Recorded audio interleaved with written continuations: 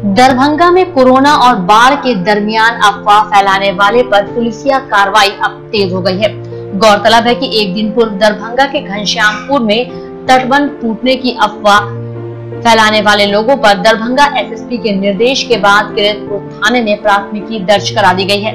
Darbhanga DM doctor त्याग Tyagarajan SM ने सभी से इस तरह की अफवाह से बचने का आग्रह किया था। कल तटबंध टूट जाने की खबर के बाद घनश्यामपुर में अफरा तफरी का माहौल कायम हो गया था।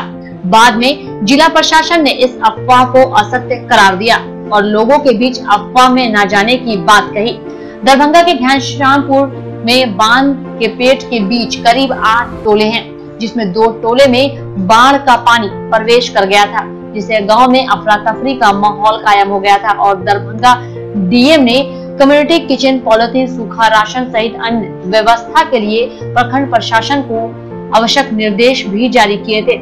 घनश्यामपुर का बाबुल गाँव पूरी तरह बाढ़ प्रभावित हो गया है। इस गाँव में घर के अंदर पानी प्रवेश कर जाने की वजह से लोगों को काफ़ी परेशानियों से गुजरना पड़ रहा है। लोग अब अपना आशियाना तटबंध पर बनाने लगे हैं।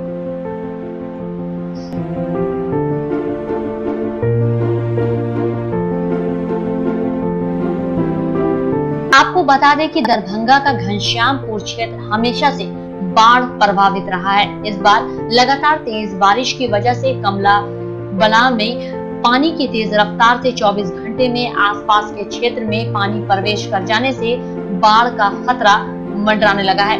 वहीं दरभंगा एसएसपी ने अफवाह फैलाने वाले पर कड़ी कार्रवाई का निर्देश सकतपुर थाना को दिया है।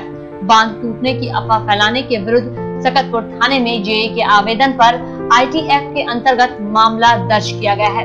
वहीं एसएचओ एसडीपीओ को निर्देश दिया गया है कि अफवाह फैलाने वाले को चिन्हित कर कड़ी कानूनी कार्रवाई करें।